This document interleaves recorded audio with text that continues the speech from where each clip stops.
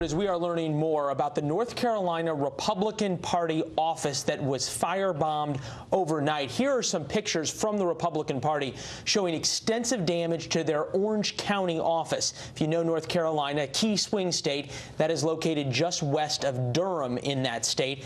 Officials say the culprit also vandalized a nearby building, spray painting a true message of hate. Bryan Llenas following the details from our New York City newsroom as he works this developing story. Hi, Bryan. Hi, Leland. Well, police are now looking for the person or persons responsible for firebombing and vandalizing that North Carolina Republican Party office overnight. The attack happening in Hillsborough, North Carolina, just west of Durham in Orange County. This is a heavily Democratic county in a key battleground state. An explosive device was thrown through the window of the office, burning the entire office, the couch and the walls.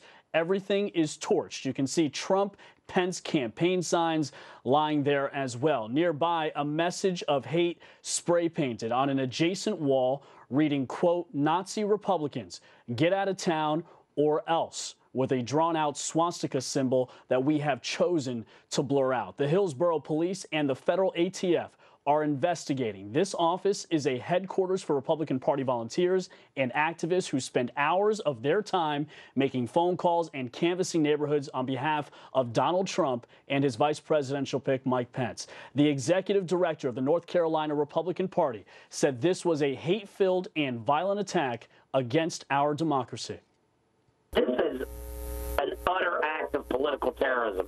We know we know the uh, ATF and the feds were out here earlier today. I mean, I think the scariest part is the bomb hit sort of a couch and a chair where volunteers stack out all the time, and it's just a grace of God that nobody was there.